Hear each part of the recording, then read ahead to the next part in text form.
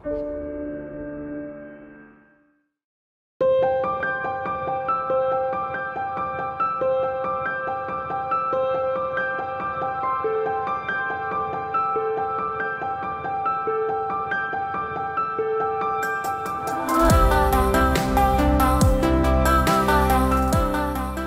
is Mesha van der Walt. Ehm um, Afse Superior Clothing het begin in 1998. Het ons hier in Linnootweg by die Pershuis begin.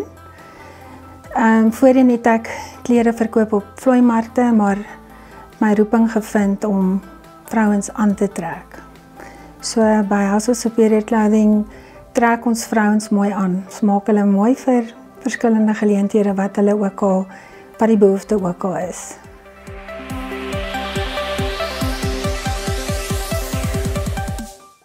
Ons is in Linwoodweg in Pretoria. Ons is Superior Clothing is al soos ek sê al reeds hier van 1998.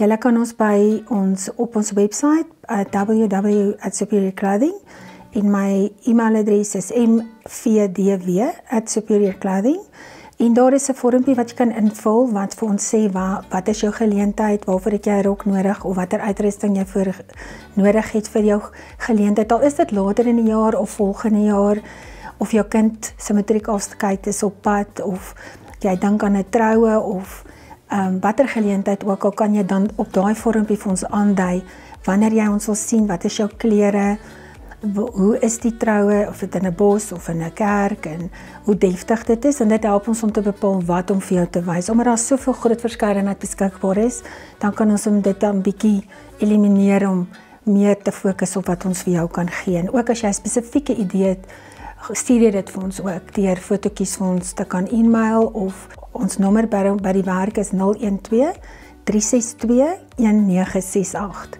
So jy kan soontoe bel ook vir 'n afspraak, maar ek verkies dat die webtuiste al jou besonderhede te vir ons te gee, dan kan ons jou meer effektief help. Ek dink dit is moontlik om vandag ook in so 'n bedryf in te kom, maar dit is baie belangrik dat jy moet ondervinding opdoen in die bedryf self. Dit is 'n bedryf wat baie vinnig verander omdat modes verander.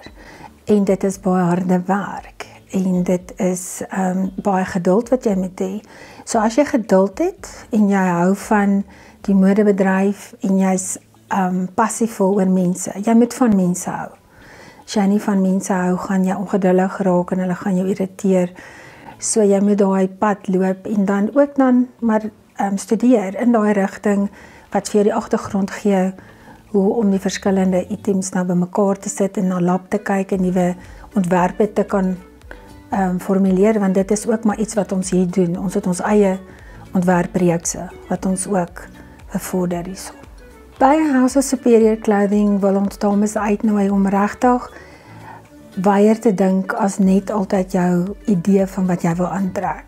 En dis vir ons heerlik om vrouens aan te trek en dis ek wil elke dame uitdaag om by ons 'n draai te maak en te kom kyk en ons sal definitief ietsie vir jou hê. Iets spesiaals En dis vir ons 'n uitdaging om na elke meisie van die jonger meisie tot die ouer dame pragtig te kan aantrek sodat ons jou dag maak vir daardie geleentheid.